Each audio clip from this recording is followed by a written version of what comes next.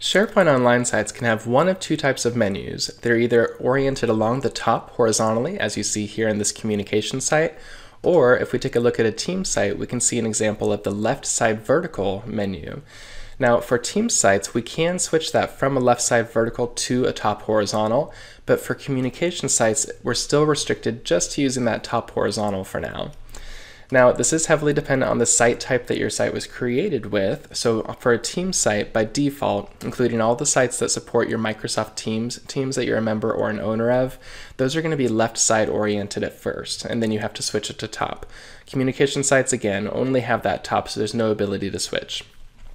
So if you are a site owner and you go to your team site, you can go up to your settings wheel in the upper right hand corner, then choose change the look right here.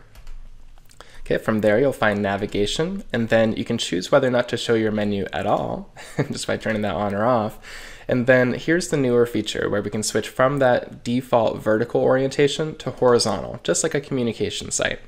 And then our style, again, just like a communication site, can be mega menu or cascading.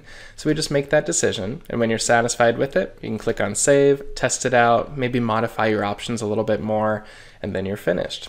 Now, just to show you um, on a communication site, the same process, you go to the settings wheel, go to change the look, choose navigation, but we can't switch the orientation. All we can choose is mega menu or cascading.